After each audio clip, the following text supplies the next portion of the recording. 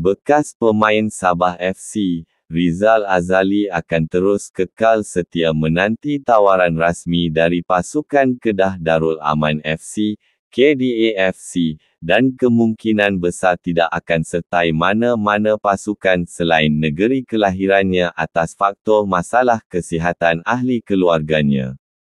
Jelas Rizal, meskipun mendapat beberapa tawaran dari pasukan Liga Malaysia, Liga M, namun dia harus memikirkan semula kerana ia melibatkan orang yang paling rapat dengan dirinya. Duduk kedahlah, orang tua, ayah, pun tak sihat dah. Lah tunggu kedah dulu, tawaran rasmi.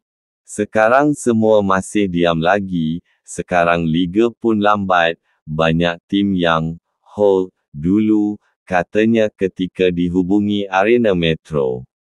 Untuk rekod, Rizal, 32, sudah menakbur bakti bersama skuad hijau kuning hampir tujuh tahun dan mencipta pelbagai kejayaan seperti muncul juara Piala FA pada tahun 2017 dan 2019, Piala Malaysia, 2016, sebelum mengubah angin berhijrah ke pasukan dari Borneo, Sabah FC.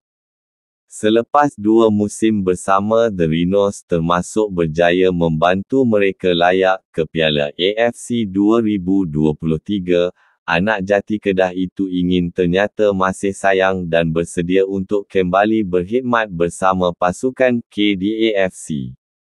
Terdahulu, Arena Metro melaporkan Rizal mengakui masih dalam perbincangan dengan beberapa pasukan Liga Super yang mahu mendapatkan idmatnya untuk musim 2024 yang akan membuka tirainya pada Mei depan.